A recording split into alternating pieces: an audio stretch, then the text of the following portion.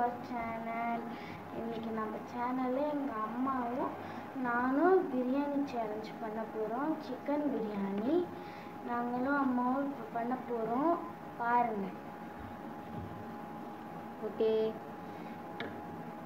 three two one